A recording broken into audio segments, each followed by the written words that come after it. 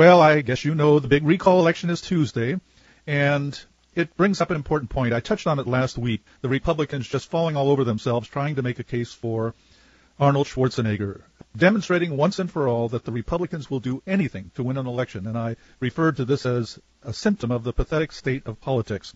Well, this last week, National Review Online, you know, National Review, the conservative magazine, probably the leading conservative magazine, it's been around for almost 50 years. And Stephen Moore had an article on National Review Online, and you can even see the article if you go to my website and go to the Radio Links page. Stephen Moore used to be with the Cato Institute. He's an economist, a very good writer, a very good speaker, and someone I've had the pleasure of meeting a few times, and I have a lot of respect for him. But he has really fallen off the deep end with this. He makes the conservative case for Arnold Schwarzenegger. And in the process, he touches on an important point, a point that I believe is very important. First of all, what he says in the article is that he's met both of the main Republican candidates, and there is no doubt, he says, that the man with the best set of policy ideas is Tom McClintock. And then, of course, he, after regaling us with all of McClintock's virtues, he goes on to point out that McClintock just can't win. How many times have we heard that before? Taft couldn't win, so we wound up with Eisenhower and bigger and bigger government. And it just goes on and on with the Republicans. If the Republican or some potential candidate can't win, well, then we can't have him. Because Moore makes the point that California cannot stand another 20 minutes of Gray Davis or Cruz Bustamante. So he has to go to Arnold Schwarzenegger then, and he gives us the case for Schwarzenegger. He points out that he has reservations and he has good reason to be skeptical about some things, but then he starts grabbing at straws. He says Schwarzenegger's economic heroes are Milton Friedman and Adam Smith. Well, hurrah, hurrah. And he goes on from there to say that Schwarzenegger thinks like a supply sider. He understands that growth really is the key to restoring a balanced budget and bringing back the glory days of the California economy. Well, every candidate in the race thinks that growth is necessary to balance the budget. And then Moore goes on to make the point that one of the benefits of a Schwarzenegger governorship is that McClintock may very well be directly or indirectly running the economic policy making shop. McClintock has better ideas on the budget and the economy than Arnold does, but Arnold understands that. With Arnold in the governor's office, we would get two for one. Boy, did I get a feeling of deja vu when I read that. I can remember the day before the election for president in 1960, the election between Nixon and Kennedy, and I had already determined not to vote because I couldn't see any difference between them. And a very good friend of mine said, that with Nixon in the White House, Goldwater will have access to him. Barry Goldwater will be able to give him advice, and we will be so much better off than with Kennedy. Well, we got Kennedy, and we saw what happened. A few later, years later, we got Nixon, and we got wage and price controls, controls on oil and gas production, uh, off the gold standard, devaluation of the dollar. I mean, the whole nine yards. It was great society, too. So what good would it have done to elect Richard Nixon back in 1960? So Stephen Moore winds up saying, in some, California can't afford another 20 minutes, let alone three more years of the bankrupting policies of the Davis Bustamante tenure. They must be terminated. And here we have the crucial point. Yes, standing completely on principle, one would not vote for Arnold Schwarzenegger. But you have to be practical. And therein lies the rub. And the rub is that trying to be practical is not only unprincipled, it is the most impractical thing you can do. Because by voting for the lesser of two evils, or what you perceive to be the lesser of two evils, you wind up with evil and you convince the powers that be that they don't ever have to offer you anything but evil in order to get your vote. And we have seen it over and over and over again. And people wonder why the Republican Party keeps moving more and more and more towards big government. It's because you keep rewarding them. Every time they hand you somebody like George W. Bush or Robert Dole or Dwight Eisenhower or Richard Nixon, you vote for them. And as long as you're going to vote for them anyway, they will never give you anybody but Arnold Schwarzenegger or George W. Bush. Is it so long ago, the year 2000, that we cannot remember that we had to vote for Bush because anything would be better than Gore? We couldn't stand another four years of a Democrat in the White House. Well, we got Bush. And what we got, of course, was bigger and bigger government, a bigger role for the federal government in education, a bigger role for the federal government in healthcare, a bigger role for the federal government in welfare, and on and on and on. And of course, if somebody tries to excuse all this and point out, well, there are ways that Bush is much better than Gore would have been, Bush, for instance, has renounced the Kyoto Treaty, the environmental treaty that would have imposed strict controls on the U.S. economy. Well, has, did anybody notice that the Senate before Bush even got into office, the Senate had already rejected the treaty unanimously. There was never any danger of that treaty being implemented, and so Bush was completely safe in renouncing it because he wouldn't lose votes from either side as a result of it because it was a non-entity. He said we needed to take steps to privatize Social Security. Well, his program, of course, for that is much too little, much too late, and is not really privatizing at all, but he hasn't even proposed anything to Congress yet. So scratch that one off too. So he's coming out for same-sex marriage, uh, against, pardon me, coming out against same-sex marriage. Big deal. The Constitution doesn't give the federal government the right to define marriage between any two people or any two living things on the face of the earth. That is no business of the federal government, and we're supposed to be thankful that Bush is in the White House? Well, he's a good Christian. Well, Bill Clinton used to carry his Bible to church every week. He was a good Christian too, at least as far as any profession was made, and all we know about Bush is what he chooses to tell us.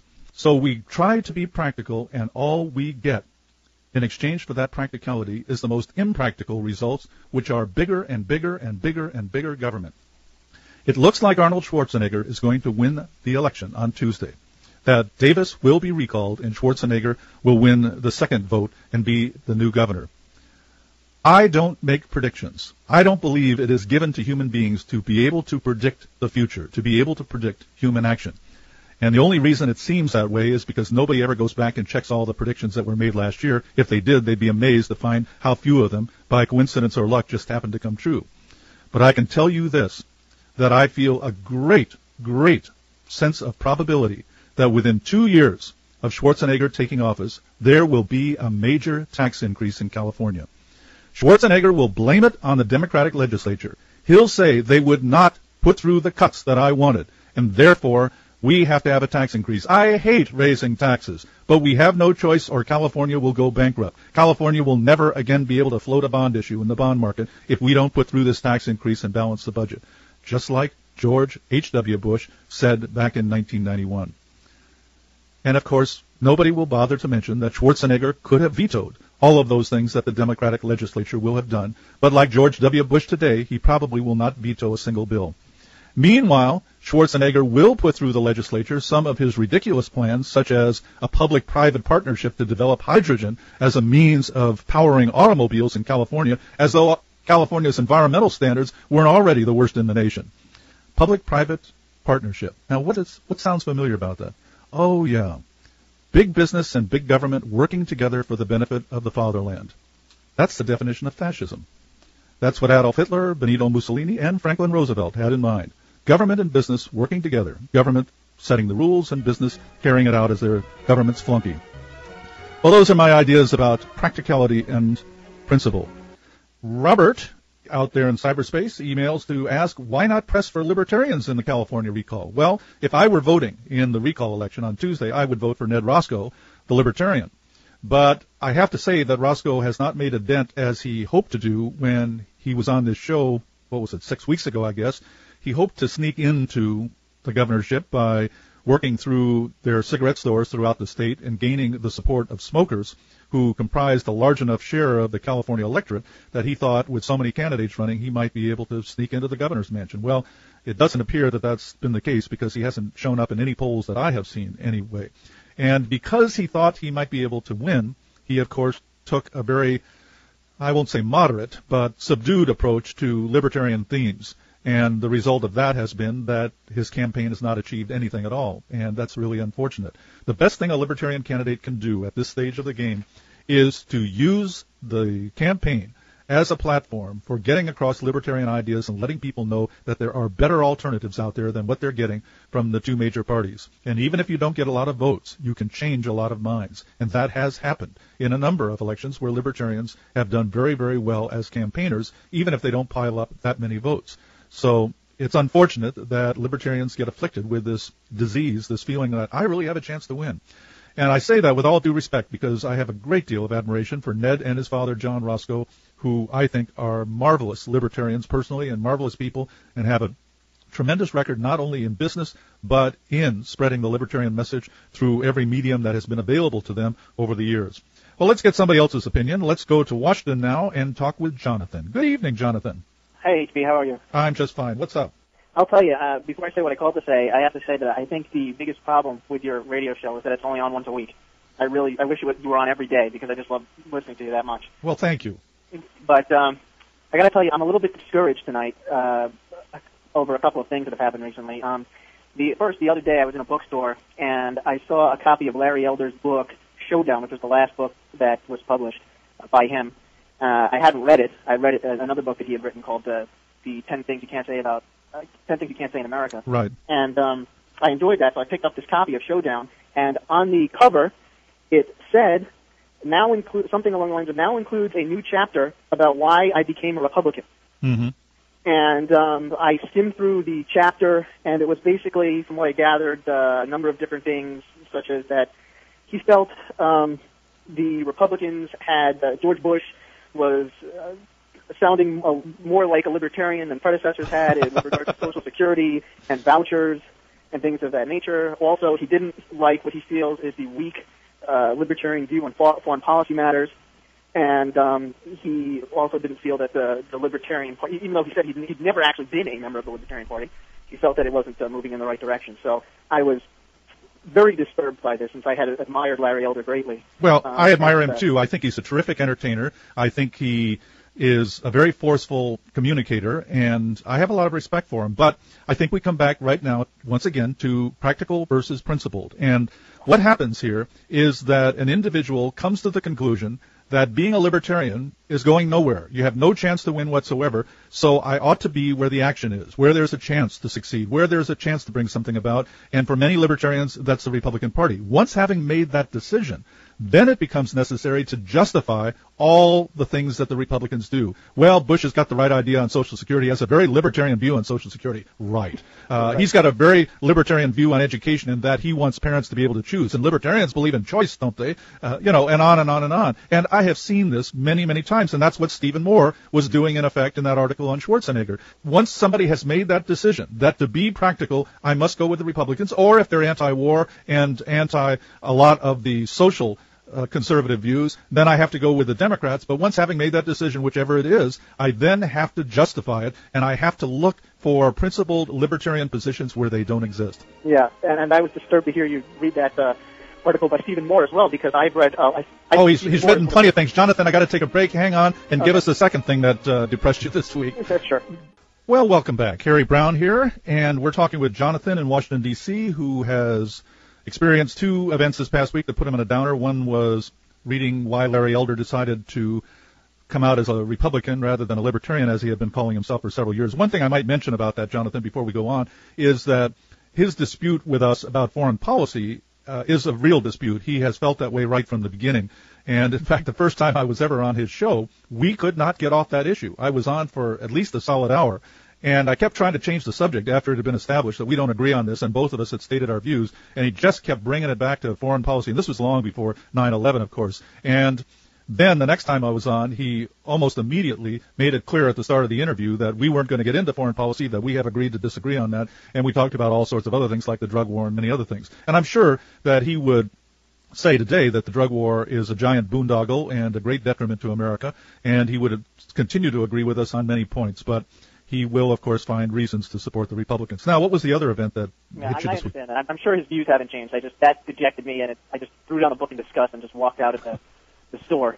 And that that happened yesterday. And then today, I found out that a number of libertarians in California, a significant number, including several prominent ones, such as Art Olivier, who was your running mate in 2000 for vice president, um, Richard Rider, who was a former candidate for governor out there, Dick Boddie, who was a former candidate for senate out there, uh, for senate out there, was uh, they're supporting Tom McClintock publicly. Hmm. How did you how did you find this out? Um, I had there was an article linking to a site uh, called, I believe. I- I don't really want to give the site's name out. Um, Well, I'd certainly like to see it. Do you want to email it to me? perhaps I should. I just don't feel like giving it free publicity, but uh, I don't know. You know, maybe maybe it's not that big of a deal. Well, Uh, I would like to see the site, so if you're not going to say it here, I'm I'm letting you off the hook if you promise to email me the address. I will definitely email it to you. All Okay. right, I appreciate it. Um, and maybe I, you know, maybe I'm not being, I'm being irrational about that, but I, I, I don't know. I can't, you know, make a decision right, right on the spot. I will definitely email it to you. All right, I um, appreciate that. Jonathan, all sorts of things come up that interfere with our plans for a better future for America, and we just have to take them in stride because none of them are fatal, and yet on the other hand, a lot of th- good things happen as we go along, and it seems as though the progress is teeny weeny and the setbacks are major. But as a matter of fact, I think that there are far more people in America today that have libertarian ideas than was the case 10 years ago. And there are far more people spouting libertarian ideas publicly in one kind of forum or another. And maybe they aren't as libertarian as you or I might are, are, am, were, whatever, or we would like people to be, but they're a lot more libertarian than they were 10 or 15 years ago. And if we can just hold on to this country for another few years, there may be some breakthrough at some point that begins to change the momentum. It is just amazing how things suddenly turn around at a time when it seems so very unlikely. That's the way bull markets end in stocks, or the way bear markets end in stocks, or any other investment. It's the way culture changes. Suddenly, everything is that was in is out, and everything that was out is in. Just like yeah. 1984 with uh, Orwell's Eurasia and Eastasia. Suddenly, the next thing you know, everything has been reversed. Black is white and white is black. Well, I'm not promising anything, but keep your chin up let me just say one last thing, and then I'll let you get to somebody else. Um, I, I don't. It blows my mind that some libertarians can support Republicans in big elections and then complain when other voters refuse to pay any attention to the Libertarian Party. Right. In my opinion, this, the only good reason for there to even be a Libertarian Party is for candidates to talk about things that are strikingly different from the Democrats and Republicans. And if some libertarians are content to back candidates who merely offer to tinker with the, the status quo, then I don't even understand why they're not in the Republican or Democrat party. yeah, uh, both both points that you make there are right on. The only reason to run for office is to present ideas that are significantly different from what the Republicans and Democrats are presenting. Otherwise, why would anybody vote for you? If you want a 15% tax cut instead of a 10% tax cut, well then who cares? What difference does it make? And the other guys get a chance to win and you don't. So why in the world would he vote for you? Why would he even pay attention to you? Why would he even think about joining your party? Why would he think that libertarians are any different from Republicans? And so on down the line. Jonathan, thanks so much for calling. Thanks. And right now we're going to go to Pittsburgh and talk with Rob. Good evening, Rob. Hey, Harry Browne. I say right on to you and right on to that uh, first guest of yours. You both said a lot of interesting things tonight and made a lot of good points. I used to, I've always liked Larry Elder too. I mean, what little I know about him, but uh, and I still do. It's very disappointing though that I always get disappointed when people, you know, it's like you say about choosing the lesser of two evils. But I want to ask you about somebody else. Um, you, you've heard me tell you before that I learned about you from C-SPAN, and um, another libertarian thinker I learned about uh, on C-SPAN was Charles Murray. Uh, have you met him? Yes, yes, very nice fellow. Oh, okay. I, I didn't know whether you know what sort of opinion you had of him um, uh, philosophically or personally, but uh, I was kind of wondering if you would ever consider having him as a guest on your show.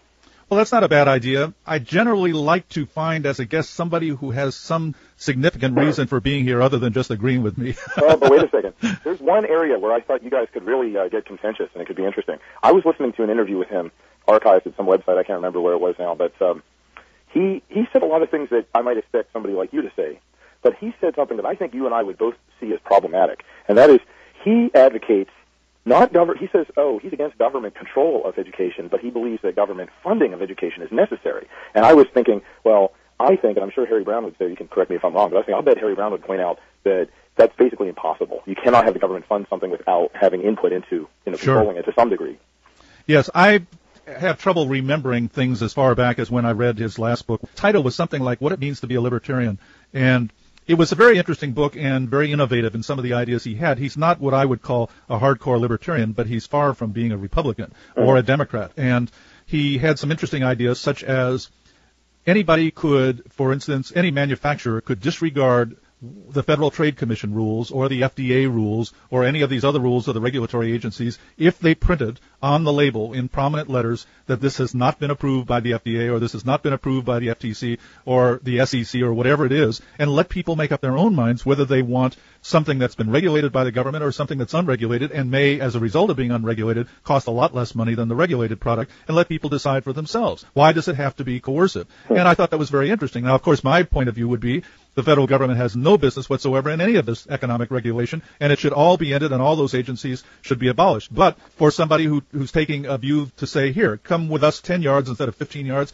I think that's a very innovative suggestion. And he has a lot of suggestions like that, but in the process, I think he uh, advocates school choice or one or two of those other kinds of things that I don't see not I not only don't see them as being helpful, I see them as being dangerous. School hmm. choice, for instance, is a way for the government to get its hooks into private schools and wind up controlling them the way they control private colleges today because of all the federal aid that goes to colleges. But anyway, I think he is a very interesting guy. I I just would hate to get in a big argue with, argument with him because I like him too much. He's, oh. he's, really a very pleasant fellow, and I also like him because he endorsed me for president in 2000. yeah. So, but uh, he is an interesting person, and to anybody else listening, if you run across something of his, you won't be disappointed if you read him because he not only has interesting ideas, but he's also a very good writer. And that's very important to me. If, if somebody isn't a good writer, you're not going to read more than a page or two or three before you start getting drowsy, put the book down, and never hear anything that the person has to say.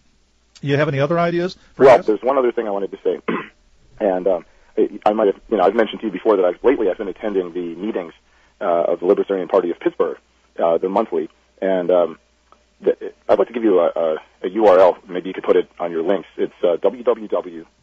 L, I'm sorry, www.lppgh.org, and that's the Libertarian Party of Pittsburgh. Mm-hmm. And if uh, now there's a particular animated segment that you can see at that website. You can probably see it at several other websites, but I don't know which ones. But if you go to that website and you click on the link that says philosophy, there's a five-minute uh, flash animation presentation. I cannot remember who wrote the text and who did the animation. They're, they are credited. One person who should also have been credited in the credits on this animation is um, Mike Oldfield, the, the musician. He wrote the music. They used music from Tubular Bells. And the combination of animation, text, and music in this animation is so powerful. It's, it's one of the most powerful introductions to libertarian thinking I've ever seen, and it reduces everything down to really basic principles about the individual as owner of his or her own life. Mm-hmm. And it really it, it, breaks everything down into such fundamental principles that it doesn't even get into um, you know the kind of specific things that we usually talk about when we talk about government and politics. And well, sure, like you're because you're talking about an introduction here rather than a course. But, it, but it's, it's more it's, it's all it's all the more powerful though because it really gets down to the nuts and bolts of you own your life and mm-hmm. what that means in terms of um, power, force, uh, individual liberties, um, property. Uh, I mean, it's, it, I can't describe it. I'm just okay. you don't you don't need to. Uh, anybody wants to go look at it, lppgh.org, and I'll go take a look at it myself. lppgh.org, Libertarian Party of Pittsburgh. Yeah, I highly recommend it to anybody, whether they're new to libertarianism or whether they're not new to it. It's it's it's really worth checking out. Okay, terrific. Thanks for calling, Rob. Always glad to hear from you. Thank you. We have some emails. David in Minneapolis says, in the past week we heard more and more about Arnold Schwarzenegger's past sexual assaults on several women. And the response to this news is giving me deja vu about the 1990s. Back then, Anita Hill public revealed, pa- publicly revealed past wrongdoing by Republican Supreme Court nominee Clarence Thomas, and the only people who gave a damn were Democrats. Similarly, when Paula Jones publicly, publicly revealed past wrongs by President Clinton, Clinton, the only people who gave a damn were Democrats. So why is it that it's only the opposition party that does? Well, let's talk about that when we come back. This is Harry Browne. Be back here in two minutes before we went to the break, I was referring to an email from Dave in Minneapolis who mentioned that the Democrats leaped to support Anita Hill when she accused Clarence Thomas of wrongdoing. Then, of course, the Republicans leaped to support Paula Jones when President Clinton was accused of wrongdoing. And now the only, he says, the only people who seem to care about Schwarzenegger's past wrongdoing are people who were opposed to the recall in the first place. Why can't we deal with these kinds of accusations consistently and in a fair and balanced manner instead of simply responding to them along the lines of pure politics? If someone I disagree with commits a crime, is it any worse than the same crime committed by someone I agree with? Of course it's not any different, Dave, but this is not a matter of principle. This is a game, a game called politics. And what you do is you leap on anything you can find to attack your opponent. And I don't just mean if you are a candidate. I mean whoever it is you're supporting in the race. And anybody who attacks your candidate is evil and malicious, and he is just making political hay, and so you must rush to support your candidate without questioning in any way whatsoever ever the truth or falsity of the charges. They're bound to be false if they're about your candidate, and they're bound to be true if they're about the opposition candidate. Well, Jonathan sent me that link, and it is for real, folks. Libertarians throughout California, prominent libertarians, are supporting Tom McClintock, the Republican, in the recall not only the former vice presidential candidate of the Libertarian Party, but two former state Libertarian chairmen, a former Libertarian council member, the former Libertarian for U.S. Senate candidate, twice candidate for Congress once, former chair of the Orange County Libertarian Party, a Libertarian candidate for governor in 1998, and it just goes on and on and on with the list of all these prominent Libertarians who are supporting Tom McClintock. Now, I can understand that, but I sure as heck do not agree with it. Because there's one thing that's being overlooked here, and that is these people have no idea what's likely to happen if Tom McClintock gets elected. Do you really think that Tom McClintock is going to carry out libertarian programs once he's governor? Yes, he may resist raising taxes far, far longer than Schwarzenegger. But he is absolutely unlibertarian on all social issues, and he is unlibertarian on immigration, and he is a politician. Not only that, he's a Republican politician.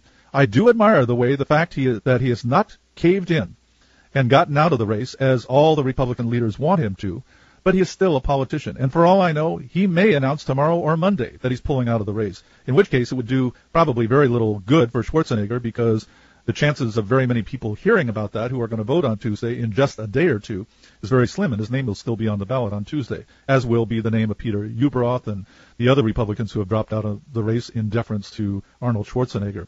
It really is unfortunate.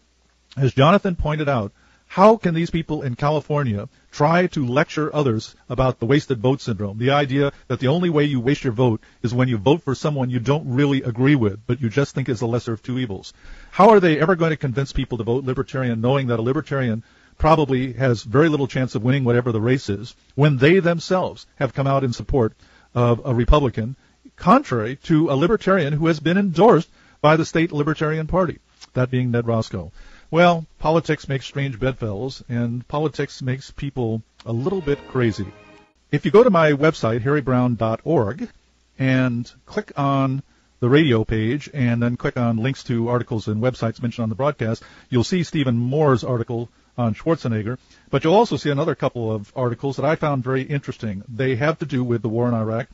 One of them talks about the way the war was presented before it's actually started, and the overwhelming bias of the networks, all of them, from PBS straight on through to Fox News, from one end of the spectrum to the other, in presenting administration spokesmen to talk about the war and not a really balanced view of skeptics and other people who had important arguments to point out. And it really is a very interesting article. The other one is a study about the misperceptions that people have today and how that's been affected by the networks.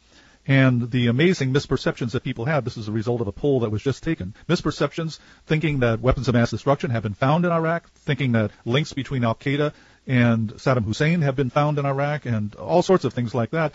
And it breaks them down by which network these people watch to come up with these misperceptions. And if we have time between phone calls later, I'll go into some of these results, but you can see them for yourself if you go to the Radio Links page at my website, harrybrowne.org.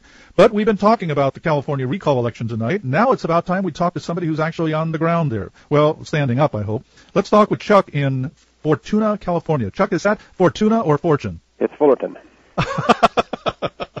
well, was I close? I'm, I'm sure that you were right on. I'm thinking that the person that typed the thing in there probably was the one that was off. okay, Fullerton. Fullerton. I, I lived at one time in La Habra, so I certainly ought to oh, have yeah, that you're straight. Just north of me. Yes. The question that I have is I want to tap into your vast resources of information about political things or things political.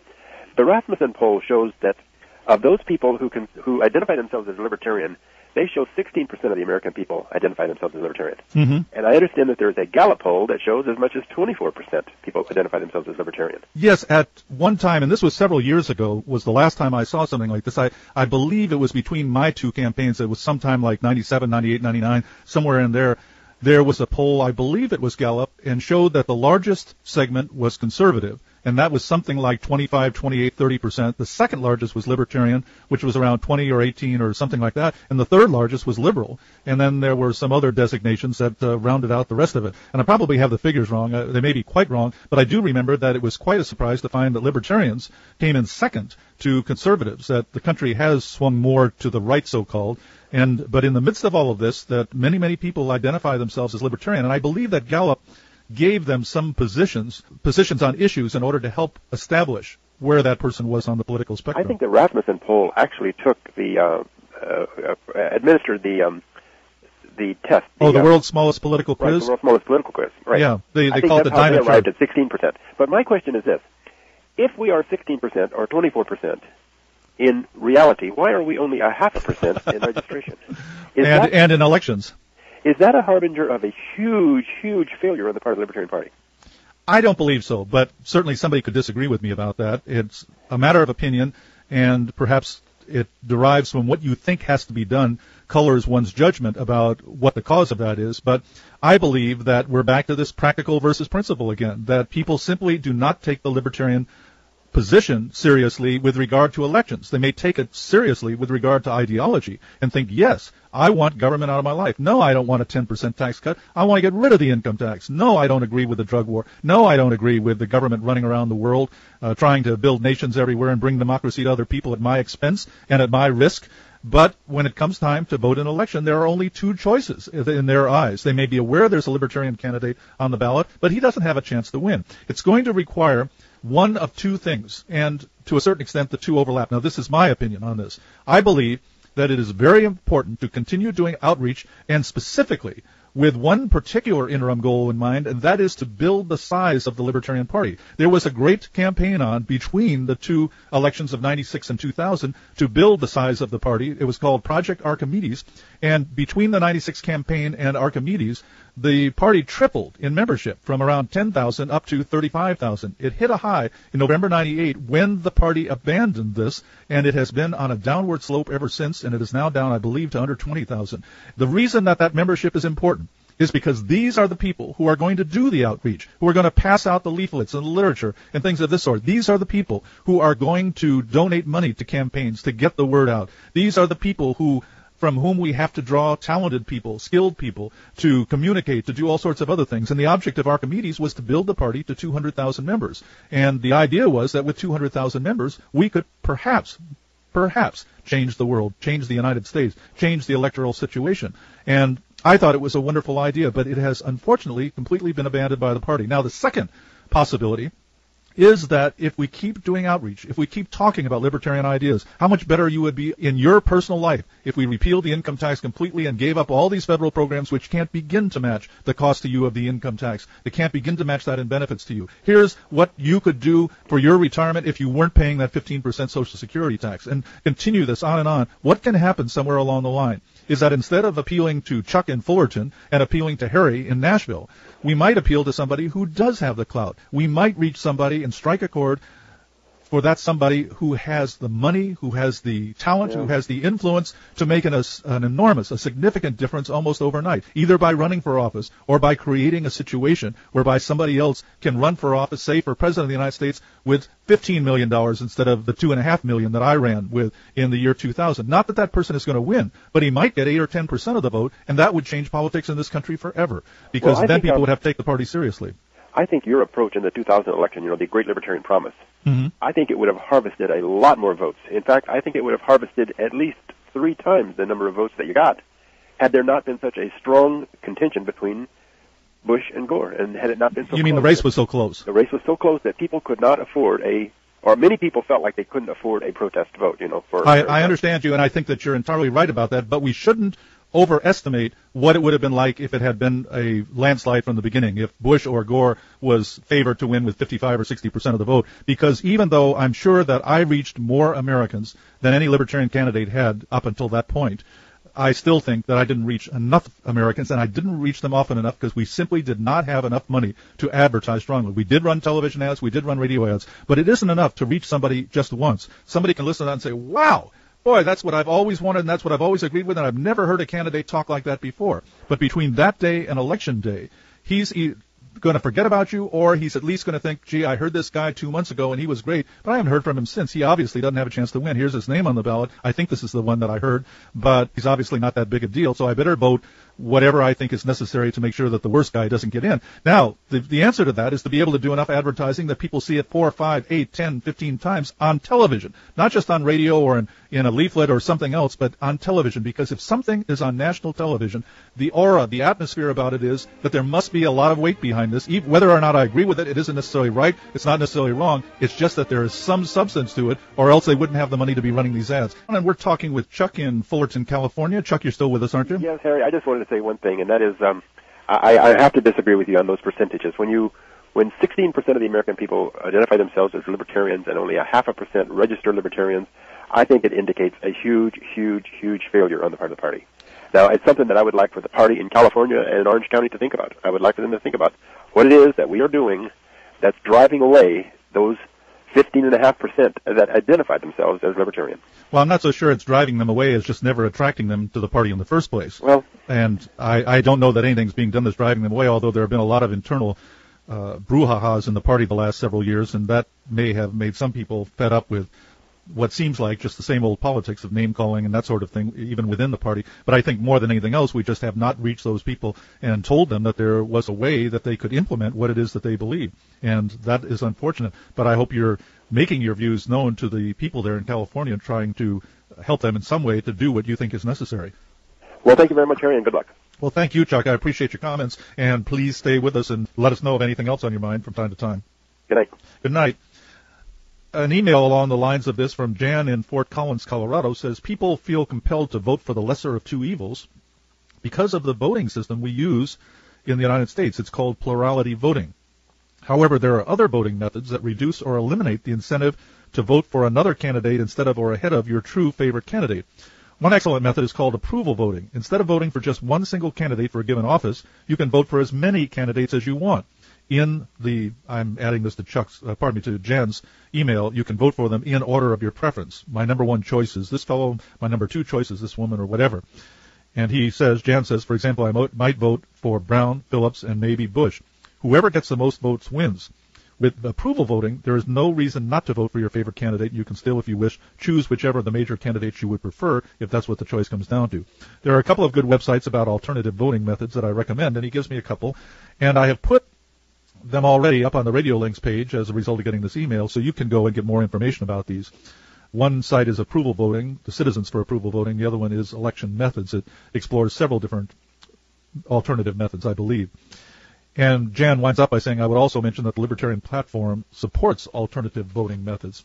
To clarify this just a little further, this preference system, what you do is you go and if there's seven candidates, you say, I choose the following in order. This candidate is my number one, this candidate is my number two, this candidate is my number three. And first, all the number one votes are counted. This is, of course, computerized, so it can be done instantaneously. All the number one votes are counted, and if no candidate has a plurality, then the bottom candidate is cut off the list, and then check again all the number one votes. If you voted for the number as number one, the candidate who's been cut off the list, then in the second run through, your number two choice is counted. And again, if there's no majority for any one of the candidates, then it goes on to number three and so forth. Uh, goes on to the third time through by cutting off another candidate and so on until, if necessary, it gets down to just two candidates. And however many people have voted with one preference number for either of those candidates, those votes get counted, and somehow or other one gets elected. But the beauty of that is that you can vote for the Libertarian candidate, and if you really think that, say, the Democratic candidate would be better than the Republican candidate, you can still vote for the Democratic candidate as number two or number three or number four, and not vote for the Republican candidate at all, or vice versa, if you think the Republican candidate would be better, and so on. The problem is how you're going to bring that about.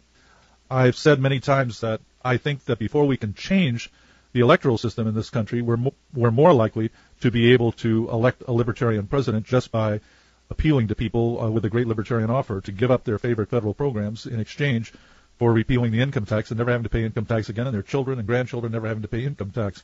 The Republicans and Democrats are not going to consider alternative voting systems because Unfortunately, the two-party system has been imposed upon us by various congressional laws and laws at the state level. It's not something that came about by popular will. I'm not saying don't look into this, and I'm not saying don't promote it. I'm just saying don't get your hopes too high. We've been talking a lot tonight about the California recall, about practical politics versus principle, and the impracticality of practical politics. And I just got an email from Chris in Ann Arbor who says he has not been, heard the whole show. He just tuned in recently and wondered about the libertarian endorsement of Tom McClintock. Says, I see you answered it. But he points out, he said, we had another politician who got elected based on a half libertarian platform, meaning not 100%, and that was Jesse Ventura in Minnesota, who was a sort of social libertarian, that is, decriminalize marijuana, prostitution, no gun control, and so on. But then he got into office and nothing really happened. Well, what a surprise. Jesse Ventura turned out to be, and this is Harry speaking, not Chris in Ann Arbor, Michigan, but Jesse Ventura turned out to be nothing but a self-promoting, self-indulgent, self-absorbed individual who, in his first few months in office, started coming out for light rail mass transit. Very strong libertarian position on that. So back to Chris, he says, how do those libertarians in California know Tom is going to bring California any more closer to liberty than the other candidates? I am not convinced that Tom McClintock is a Ron Paul style Republican. And Chris goes on to say, as for Arnold, I feel he has been taking the Clinton Bush correspondence course in political speaking. I can't understand where he stands or what he is talking about. No wonder he's a darling of the status quo. It worked for Bill Clinton. Why not Schwarzenegger? Well, Chris, it's obvious that from the beginning that's what his advisors advised him to do, and that is take as few positions as possible. Just talk about we have to have a change, and we have to bring business back to California. Chris goes on to say the other candidates like Ned Roscoe, the libertarian, Mary Carey, the porn star, and Gallagher, the comedian, say truthfully what they want to do, yet no one pays attention to them. Especially in the case of Gallagher. How can one resist a candidate whose campaign slogans include incompetence, corruption, selfishness, continue the California tradition? And why settle for amateurs? California deserves a professional comedian. And then Chris says, finally, someone mentioned the world's smallest political quiz. There is another one out there worth trying out as well, only it's a bit larger and a bit more in depth, and that's at politicalcompass.org. And I'll try to take a look at it the next break, and if it looks like I think it's worth anything, any of your time, then I'll put it on the website as a link on the radio links page. Oh, and finally, finally, Chris says, I wonder if you have any comments or opinions on the Free State Project which is a concept whereby 20,000 people move to a state, in this case New Hampshire, and influence the government there towards pro-liberty positions. Well, I've spoken on this several times on this show. I have no objection to anybody who wants to do this and will, is willing to give up his life where he is now and move to New Hampshire. I'm staying in Nashville, though. Bob says, I got lots of questions, but the main one, do you have any suggestions for a worthy tax-deductible libertarian not-for-profit organization? Well, it just so happens I do, Bob. I'm associated with the American Liberty Foundation, which raises money to run radio and television ads, produces those radio and television ads, and gets them on the air to whatever extent it can raise the money to pay for the ads. And it uh, did quite a good job of producing radio ads, which we ran on this show, against the war in Iraq before the war started. And it had, ran a very good campaign against gun control laws that included some excellent television commercials that did run on national television. And now it has a campaign called Downsize DC, which is aimed at repealing the income tax by reducing the federal government to such a small level that there's no need for an income tax, that the government can get by with just the tariffs and excise taxes already being collected. And it that campaign is getting to the next level this coming week by starting to run radio ads on stations around the country. So you can find out more about all of these things by going to AmericanLibertyFoundation.org or you can go to downsizedc.org Either one will tell you about the latest campaign, and if you forget those, just go to my website, harrybrowne.org, and somewhere on the homepage you'll see a link to the American Liberty Foundation. Bob also says, I'm from Alabama, and we just defeated a huge $1.2 billion tax increase proposed by our Republican governor. We're now hearing lots of noise from the media and government that supported the increase that teachers will be laid off, no new books will be purchased, old books will be taped together, etc., etc. We want small government, but if the government on their way down is going to take no hostages and make life miserable for everyone just to prove their point, what are we to do? There aren't enough private schools to accommodate all the students if we were to have our way and abolish state control of the schools. Do you have any suggestions for us during this transition? Well, first, just in case it wasn't clear from what Bob said, he was referring to a very good point, and that is anytime anybody talks about cutting taxes or not raising them, the politicians never talk about canceling some of those monuments they were going to build or canceling these ridiculous programs that they have. They always talk about slashing the budget for schools or the fire department or the police department or the courts or something else that most people think government ought to do. They don't talk about slashing the welfare budget. They don't talk about the corporate welfare budget or any of the other things. They always make it sound as drastic as possible as though the state could never get along without the budget that it has today. And I believe I pointed out last week that at one time the California budget was a billion dollars. When I lived there around 1960, I seem to remember that it was about one billion dollars at the time, uh, and I remember it because somebody made a big thing about the fact that the budget had just risen to the point of one billion dollars. Well, today it's over a hundred billion dollars. Now, has the population of California increased a hundred times over in the last 40 years? Has inflation been 10,000 percent in the last 40 years? I don't think so and yet they do not believe that there is a single, single thing that can be cut. Even though the schools were better 40 years ago than they are today, the crime rate was much lower 40 years ago than it is today. Drug use was lower 40 years ago than it is today. In every possible way, the state has become worse during the year that that budget has increased, but that's what they do.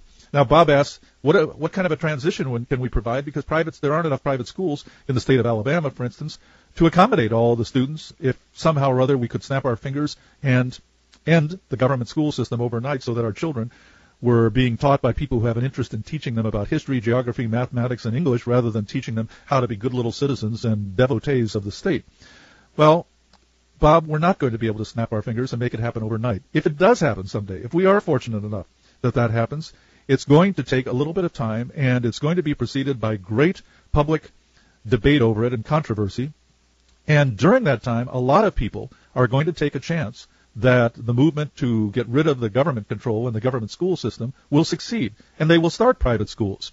And even if that were not the case, even if there were a button on my desk right now and I could push it and end, and end government schooling in this country overnight, I still wouldn't worry about it because within a week or two, makeshift schools would develop all over the country. They would be in people's homes, they would be in abandoned warehouses, they would be in garages, they would be wherever is necessary to accommodate students. And maybe they wouldn't have the best textbooks at first, but they would start learning the three R's because that's the only place parents would be willing to send them, to send their children when they have any real choice. And I'm not talking about vouchers where you choose between the lesser of evils. I'm talking about shopping around and finding a school that teaches what they want. When my daughter was about to go into kindergarten. I visited many private schools to try to find one for her, and I was disappointed that several of them looked like just replicas of the government schools. In fact, some of them made a big point of the fact that their teachers have the same qualifications and requirements as the government schools do.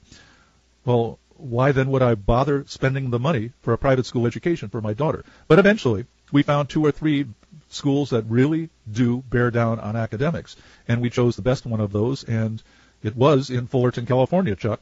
And I was never sorry about the decision that was made. The school lived up to its promises. The point, uh, however, is that the free market accommodates when the free market is free to do so.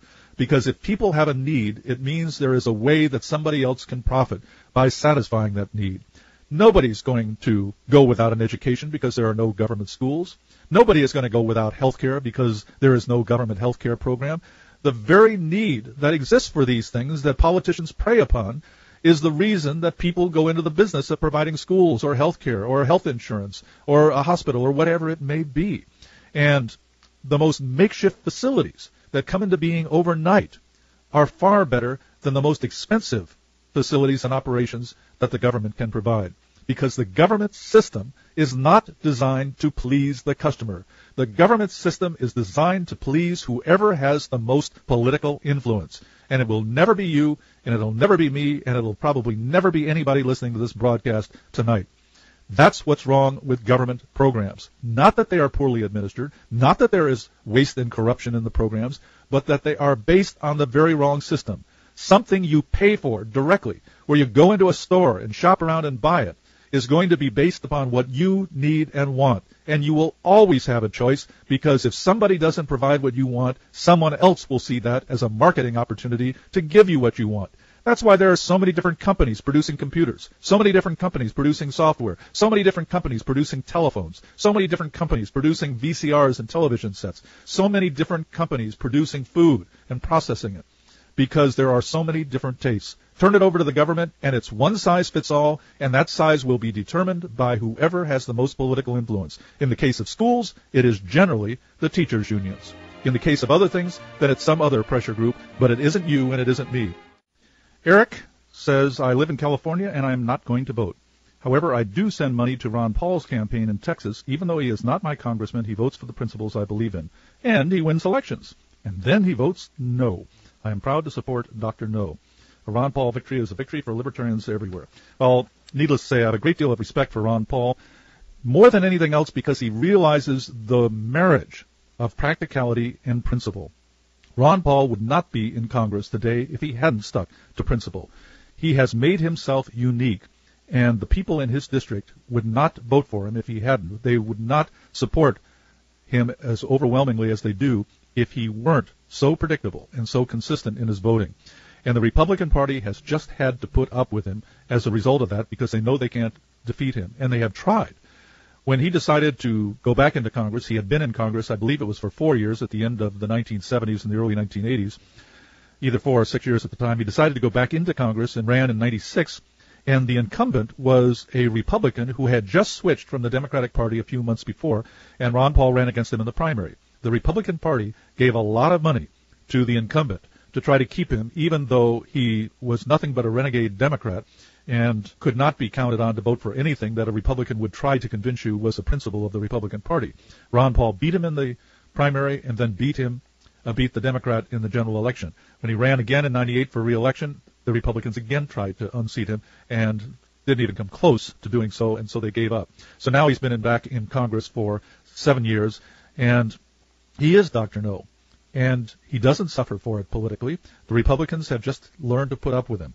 And that's the whole point about this, that what would be the point of someone like Ron Paul, who believes very strongly in libertarian principles, going to Washington and being a congressman instead of the doctor that he was in private life? What would be the point of going there if all you're going to do is be part of the Republican herd or the Democratic herd?